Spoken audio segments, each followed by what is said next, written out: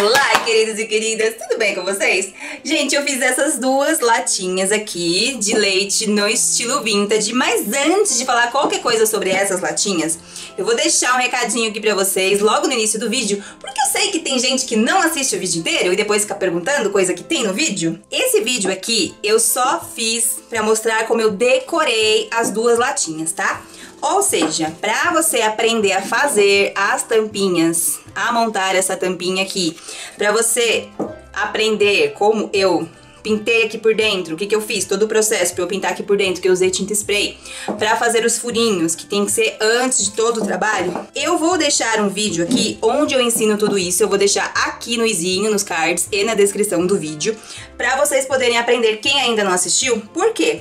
Eu não fiz tudo isso de novo pro vídeo não ficar cansativo, repetitivo, longo, porque senão vocês não assistem. Então se você quiser aprender como eu fiz as tampinhas, está nesse vídeo. Agora, nesse vídeo aqui eu vou ensinar como eu fiz essa decoração toda vintage, bem vintage mesmo. Eu desci a mão no desgaste, tá, gente? Olha, acho que foi a primeira vez que eu desci tanto a mão assim pra desgastar uma peça.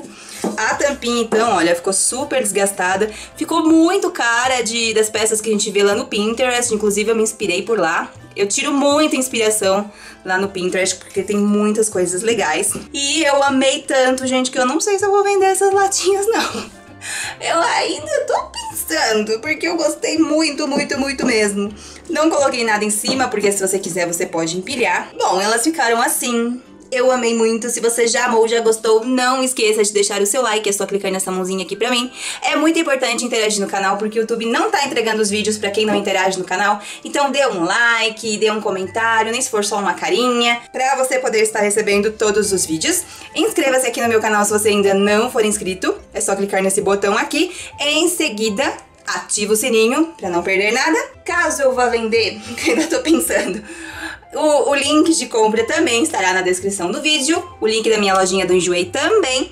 A lista de materiais também está na descrição do vídeo. E se você quiser aprender, é só continuar assistindo. Então, gente, eu estou aqui com as minhas duas latas. Essa daqui é de NAN, aquela antiga, aquela que não tem aquele negócio aqui dentro ainda. E essa daqui é de leite ninho. Então eu já passei primer, tá? Pra adiantar. Se vocês quiserem um vídeo com várias dicas sobre primer, inclusive como economizar, como passar primer em várias peças diferentes, eu tenho um vídeo aqui no canal, vou deixar linkado aqui no izinho pra vocês e na descrição do vídeo também. Como eu expliquei no, no início do vídeo, eu já pintei as latas por dentro com tinta spray branca, já furei.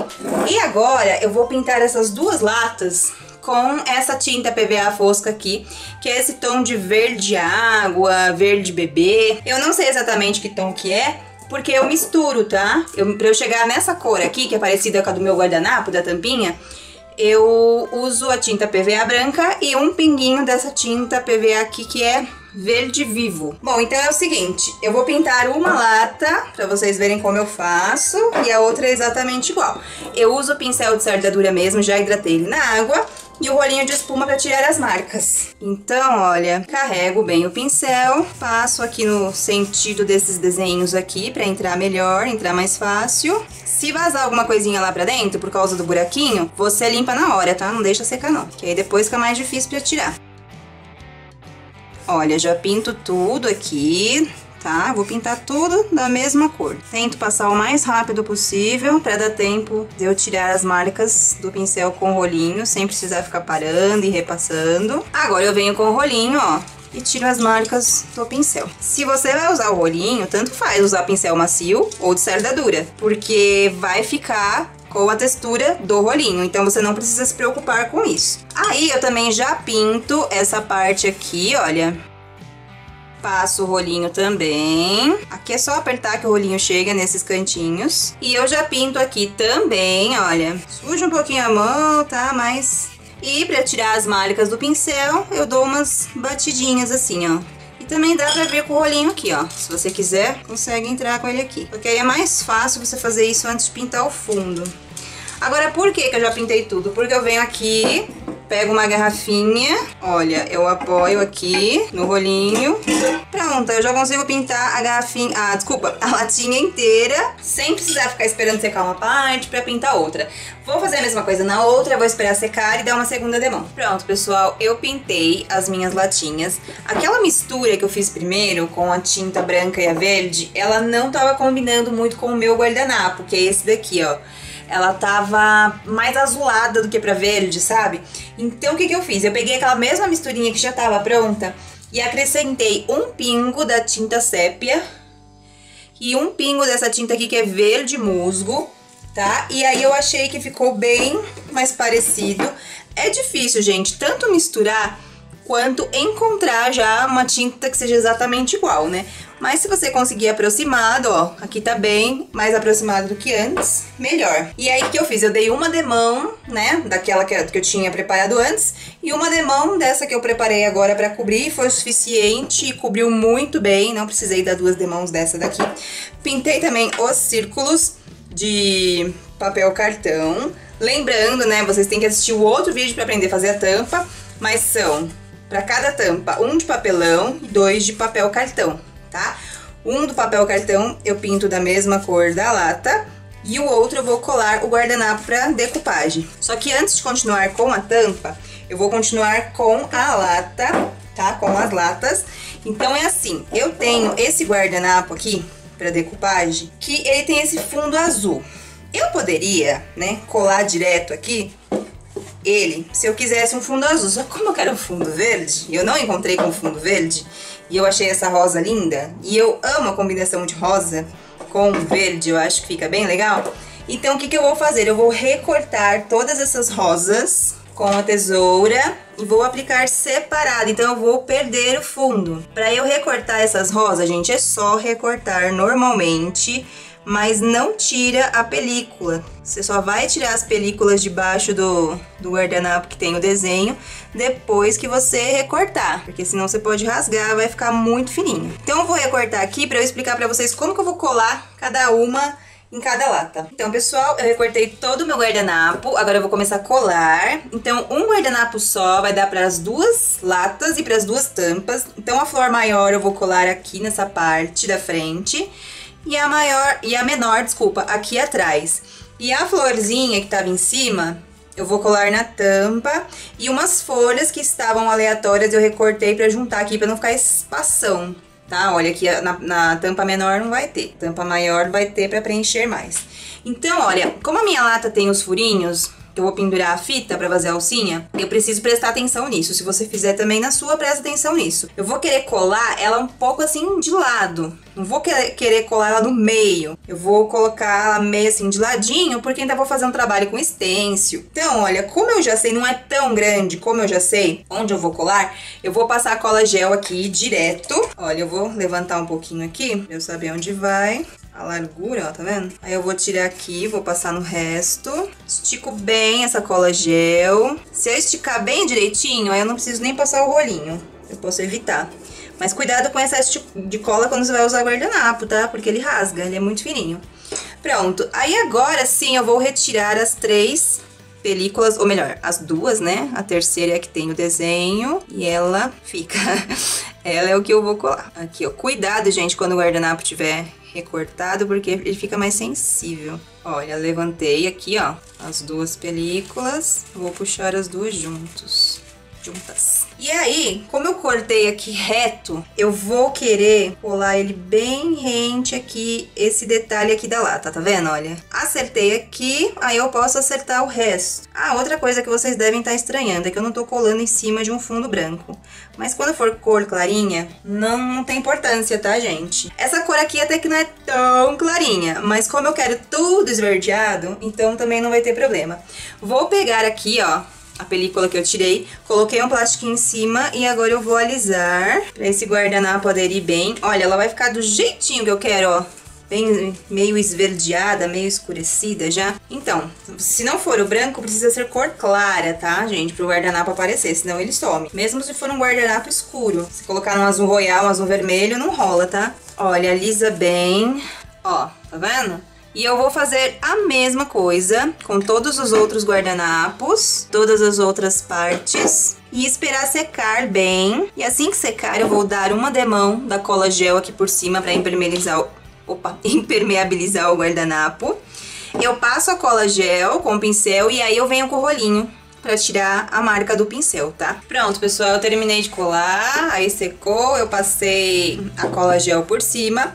Agora eu vou fazer um trabalho aqui de contorno, tá? Pra não parecer que eu colei o negócio aqui em cima, pra parecer que eu pintei, ficar uma coisa mais natural. Então, olha, eu tô usando aqui essa tinta acrílica fosca, que a cor dela é sépia. Coloquei aqui um pouquinho no meu pratinho. Coloquei um pingo de água aqui e vou usar o pincel 00. Aí eu faço assim, olha, eu coloco um pouquinho da tinta e misturo com um pouquinho da água. Deixo essa tinta um pouquinho aguada. Giro aqui meu pincel, ó, pra fazer um biquinho. E agora eu vou vir aqui e vou contornar, só que eu vou passar por cima do desenho do guardanapo, eu não vou passar por fora, porque senão fica um borrado esquisito, porque tá misturado com água, tá? Então, ó, é só eu vir aqui contornando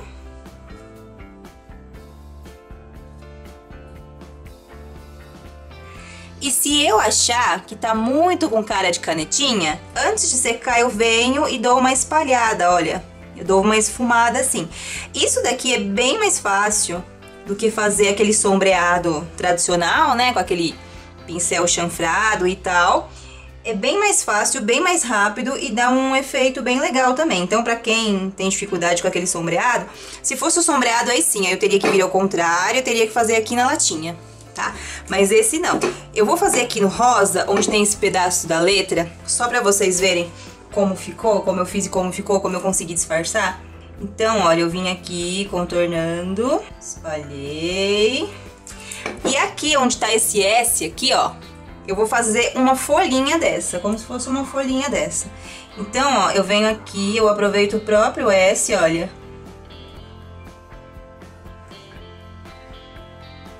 E aí eu escureço tudo ele, ó.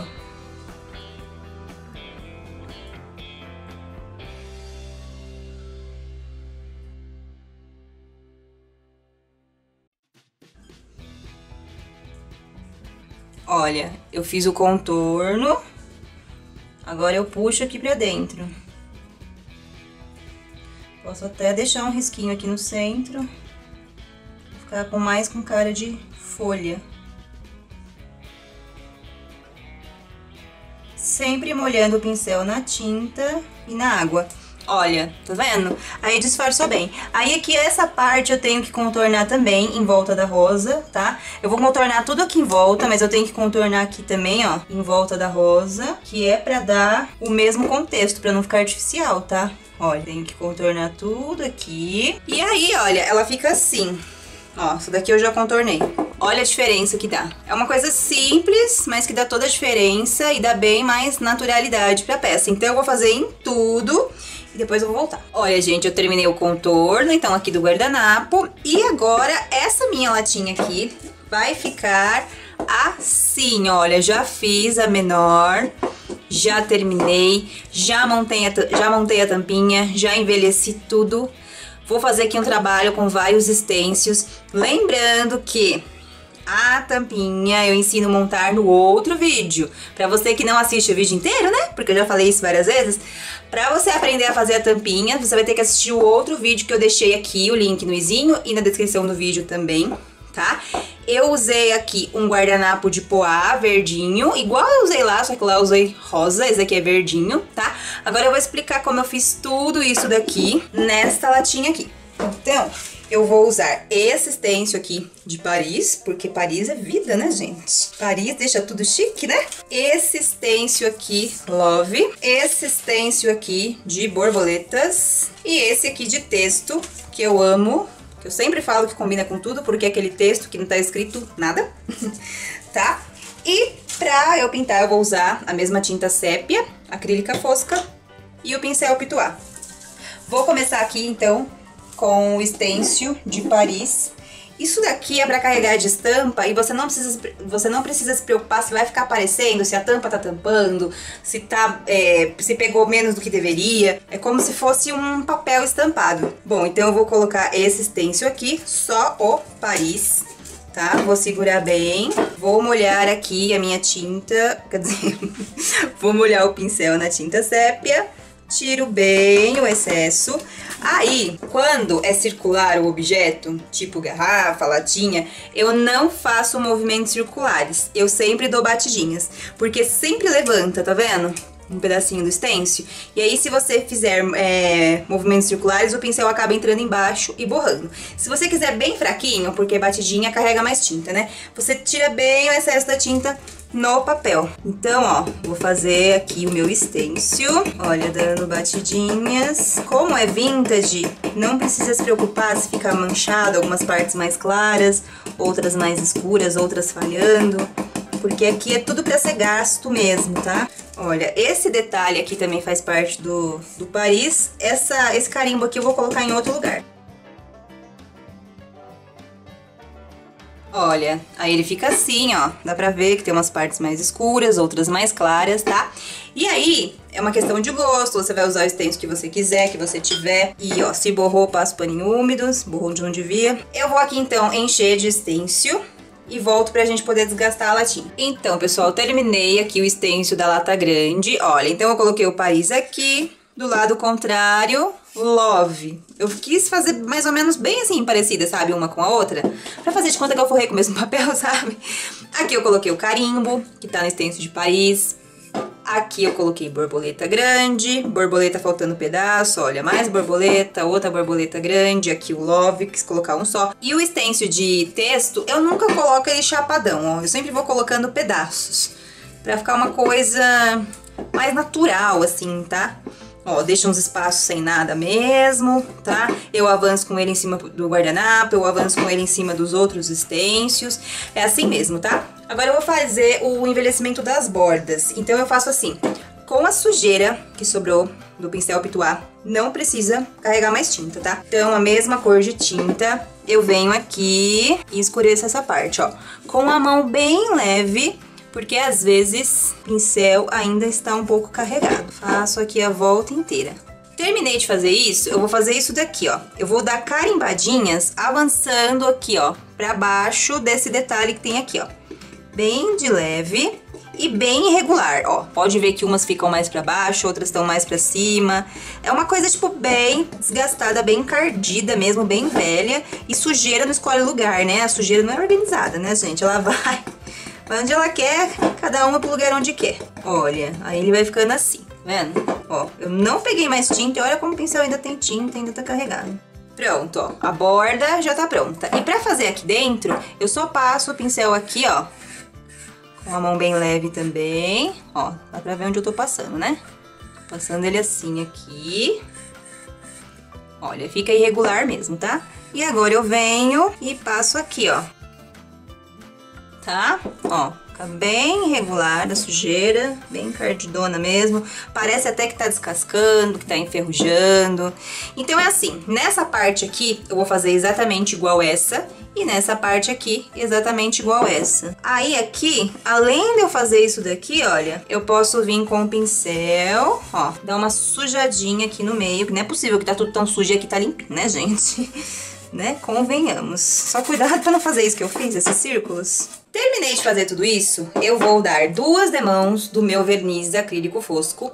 Passa com pincel macio para carregar mais. Tira a marca do pincel com rolinho, espera secar, dá mais uma demão. Na lata do lado de fora e aqui embaixo. E na tampa só do lado de fora, do lado de dentro não, que é para não ficar colando aqui na lata depois, ó, não ficar colando aqui nessa parte. Não esqueça, se você vai usar o verniz acrílico, o fosco tem que mexer bem aqui no fundo, porque o produto que deixa ele fosco fica parado aqui, mexe com um palitinho, depois sacode bem e vou esperar secar e vai faltar só finalizar. Pronto, pessoal, eu invernizei a minha lata só por fora, porque por dentro eu passei tinta spray brilhante, né? E a tampinha também só por fora, pra não ficar colando aqui na hora que eu for tampar, tá? Eu não lembro se eu disse, mas esse envelhecimento que eu fiz aqui, ó, que é igual o que eu fiz aqui na latinha, eu fiz antes de montar a tampinha, tá? Pra ficar bem mais fácil. Então eu fiz aqui, ó, do lado de fora e do lado de dentro. E na fita, né, que a gente cola aqui, ó, também nas bordas. aqui do lado de dentro também. E essa parte aqui que fica do lado de dentro, você pode fazer uma margem bem grande. Esse daqui foi o que sobrou da fita. Então, olha, esse aqui é o lado de fora, olha, tá vendo? Que envelheci essa margenzinha. E esse daqui é o lado de dentro, a parte que fica embaixo, a parte que fica colada na tampa. Por que que tem que fazer grande? Pro envelhecimento chegar até aqui, ó, igual tá aqui, tá?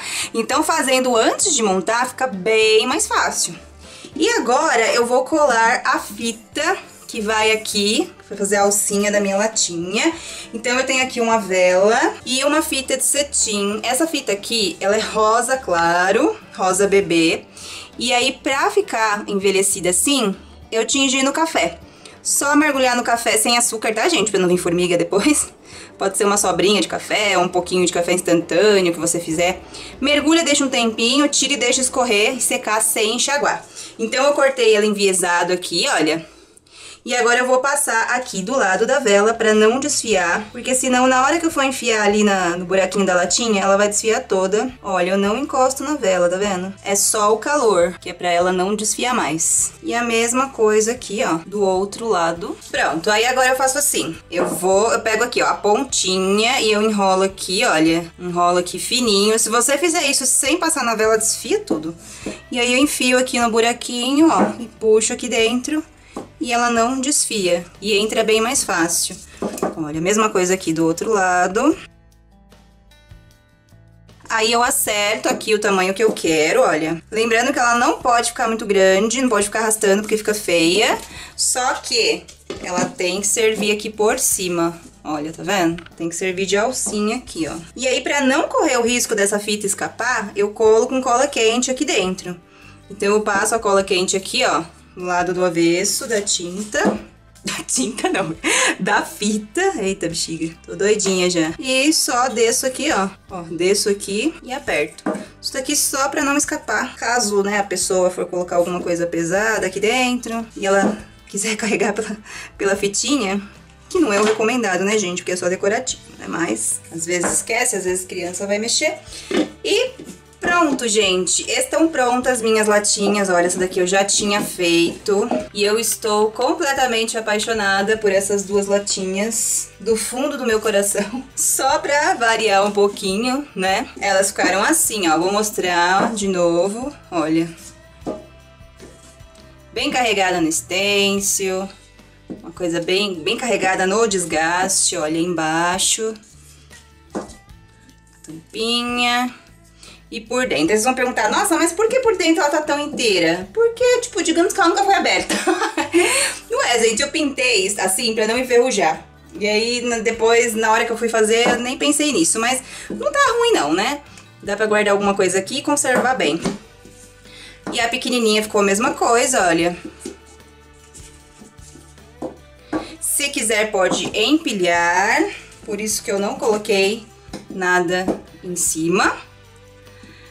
E é isso aí, gente. Eu espero muito que vocês tenham gostado, tá? Eu fiz com todo amor e carinho, eu estou apaixonada. Se você gostou, não esqueça de deixar o seu like, clica nessa mãozinha aqui pra mim, inscreva-se aqui no meu canal se você ainda não for inscrito, compartilhe esse vídeo nas suas redes sociais para que mais pessoas possam aprender também. Sigam-me nas minhas redes sociais, os links estão na descrição do vídeo. Muito obrigada por tudo, beijos, fiquem com Deus e até o próximo vídeo. Tchau!